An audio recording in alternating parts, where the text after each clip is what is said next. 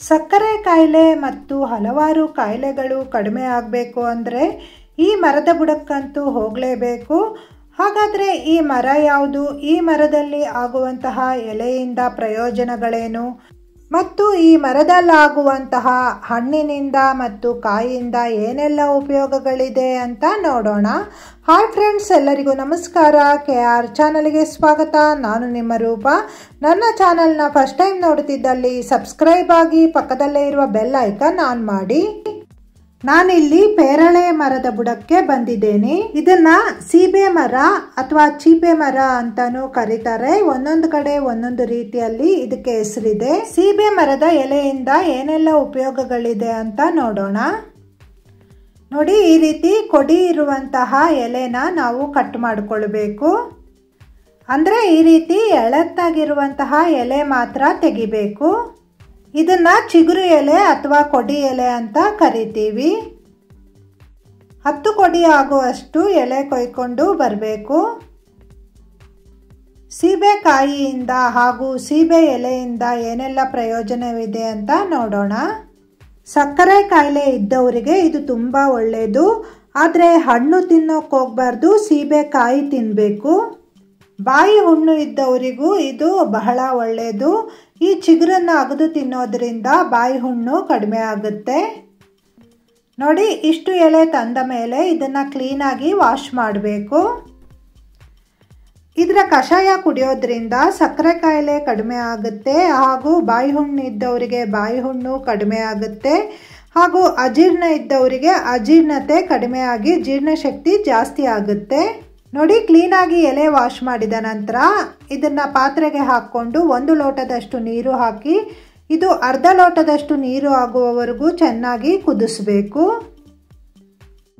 ನೋಡಿ, ಎಲೆ colour change ಆಗಿ ಇದು ಚೆನ್ನಾಗಿ ಕೊದಿ ಬರ್ತಾ ಇದೆ. ನಾನಿಲ್ಲಿ ಸ್ಟವ್ ಆಫ್ ಮಾಡಿದ್ದೇನೆ.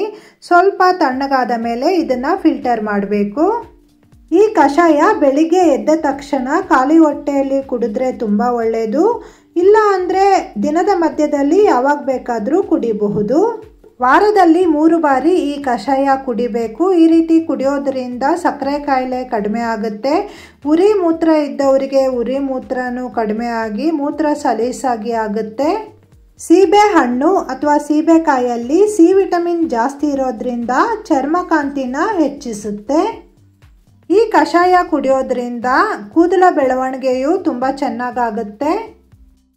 ಸಕ್ಕರೆ ಕಾಯಿಲೆ ಇದ್ದವರು ಈ ರೀತಿ ಅರ್ಧ ಭಾಗದಷ್ಟು ಹಣ್ಣಾದ ನಂತರ ಇದನ್ನು ತಿನ್ನಬೇಕು ಪೂರ್ತಿ ಹಣ್ಣಾದ ಮೇಲೆ ತಿನ್ನಬಾರ್ದು ದೇಹದ ತೂಕ ಕಡಿಮೆ ಮಾಡಬೇಕು ಅಂತಿದ್ದವರು ಈ ಕಷಾಯ ಕುಡಿಯೋದ್ರಿಂದ ದೇಹದ ತೂಕ ಕಡಿಮೆ ಆಗುತ್ತೆ. ಎರಡು ತಿಂಗಳು ವಾರಕ್ಕೆ ಮೂರು ಬಾರಿ ಈ ಕಷಾಯ ಕುಡಿಯೋದ್ರಿಂದ ಸಕ್ಕರೆ ಕಾಯಿಲೆ ಕಡಿಮೆ ಆಗುತ್ತೆ.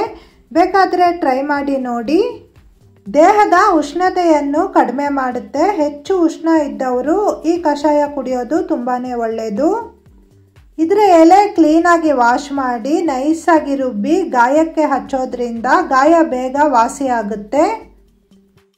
ಎಲ್ಲ ಅಡುಗೆ ರುಚಿ ನೋಡಿ ಹೇಳಿದ ಮೇಲೆ ಈ ಕಷಾಯದ ರುಚಿ ನೋಡಿನೂ ಹೇಳಬೇಕಲ್ವಾ? ಈ ಕಷಾಯ ಸ್ವಲ್ಪ ಕಹಿಯಾಗಿ ಮತ್ತು ಚೊಗರಾಗಿ ಇರುತ್ತೆ. ತುಂಬಾ ಕುಡಿಯೋಕ್ಕಾಗಲ್ಲ ಅಂತ ಏನಿಲ್ಲ, ಕುಡಿಬಹುದು. ಯಾವಾಗಲೂ ಮಾತ್ರೆ ತಗೊಳ್ಳೋಕ್ಕಿಂತ ಈ ರೀತಿ ಕಷಾಯ ಮಾಡಿ ಕುಡಿಯೋದು ದೇಹಕ್ಕೆ ತುಂಬಾ ಒಳ್ಳೆಯದು ಇನ್ನು ಮುಂದೆ ಸೀಬೆಹಣ್ಣು, ಸೀಬೆಕಾಯಿ ಸಿಕ್ಕಿದ್ರೆ ಬಿಡಬೇಡಿ.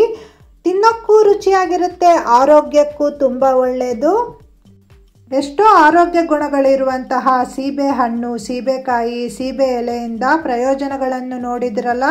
ಹಾಗಾದರೆ ಇನ್ನೇಕೆ ತಡ ಮಾಡ್ತೀರಾ? ನೀವು ಟ್ರೈ ಮಾಡಿ ನೋಡಿ ಹೇಗಾಗಿದೆ ಅಂತ ನನಗೆ ಕಮೆಂಟ್ ಮೂಲಕ ತಿಳಿಸಿ.